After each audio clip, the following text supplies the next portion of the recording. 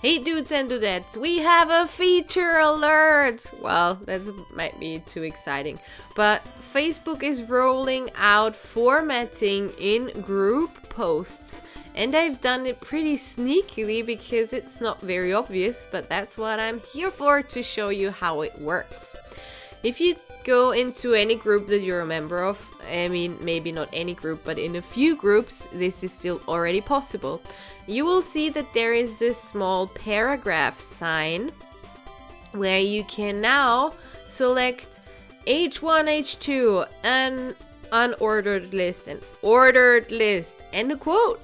Isn't that cool? So if we type in here, hey everyone, and make this an H1, and then if you click on enter you will see that it will automatically switch to a separate uh, a new paragraph.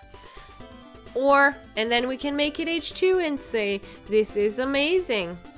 And if you click enter again it will automatically create a new paragraph.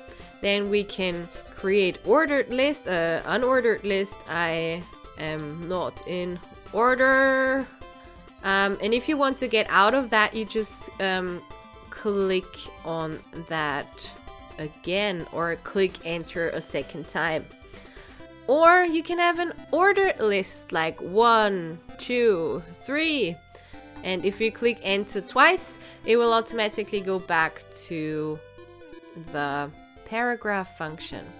And do the same thing with quote um, so someone said something really smart once and click enter again. Then you will automatically go back to the paragraph and then you can write normal again. Whoop!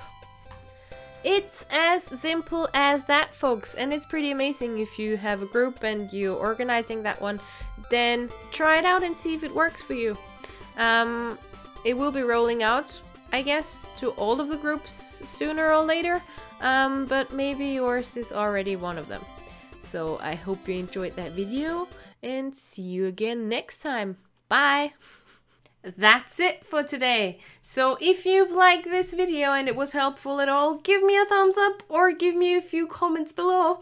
Or you can subscribe to my channel, but I'm not sure where it is. So maybe it's red button has a bell on it, so click the bell and follow my channel.